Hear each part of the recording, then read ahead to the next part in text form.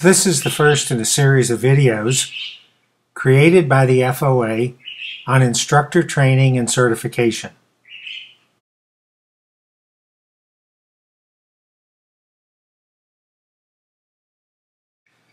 While primarily intended for developing and training instructors who teach at FOA approved schools for FOA certification and preparing them for the FOA certification exam for the CFOSI certification. The FOA is pleased to share the same information with anyone interested in teaching fiber optics or premises cabling. So feel free to watch these videos and use the material to improve your own teaching skills.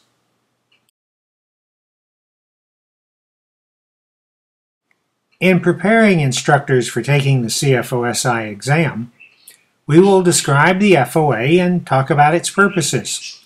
We will define the responsibilities of an FOA-approved school.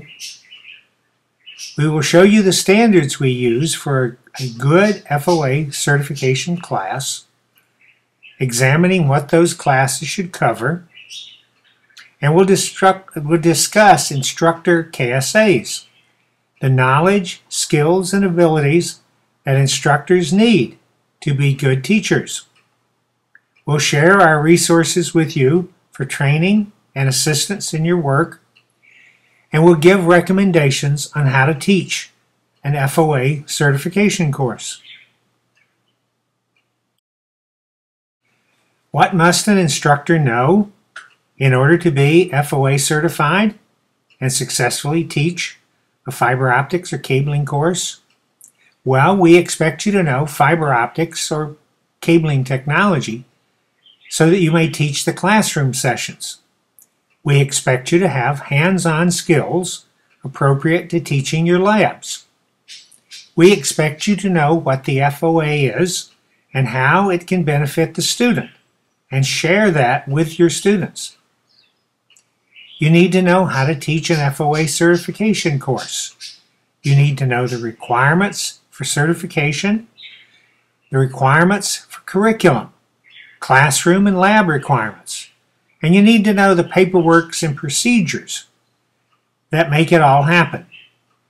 Have you already reviewed the KSAs for instructors? If not, you should do so now.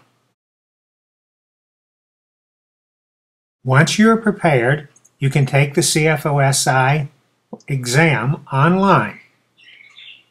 It requires having a FOA entry-level certification within one year prior to taking the exam, either CFOT or CPCT. The exam covers this material, the material that's in these presentations, plus significant amounts of technical material, which you are expected to know if you are CFOT or CPCT certified. If you do not study the material in these videos, you will probably not pass the exam so we suspect you should be careful to listen all the way through these presentations. We'll also tell you about FOA reference materials that you can use for self-study and for helping teach your classes. There's a term we use in technical circles called CPA, Continual Partial Attention. You always have to assume that a certain part of your audience is going to be listening to this video while they also do email or they're texting or doing something else. But we need your attention. So we're going to tell you pretty much what we tell our students. To turn off cell phones and pagers and pause this video or in the case of students in your class, leave the classroom quietly if you must use those devices. For safety reasons, no smoking, drinking, or eating and keep all work areas clean. We want you to participate in classroom discussions, and we're always pleased to have you comment on these videos. And we want, of course, you to enjoy yourself. We always ask students in our classes to introduce themselves. The instructor should start by introducing themselves, saying who they are, what their background is, and what their experience is. We want the same thing from students who you are, what's your background, what you already know about fiber optics or cabling, why you are in the class, and what you expect to get from this class. I'll start by introducing myself. I have 35 years of experience in communications and fiber optics as an entrepreneur, an author, and a trainer. My career began with the semiconductor industry as they created the chips that made the digital phone system work, and then with companies working in fiber optics. In 1980, my wife Karen and I and an engineer founded Fotec, the world's second fiber optic test equipment company, which we sold to Fluke in 2000.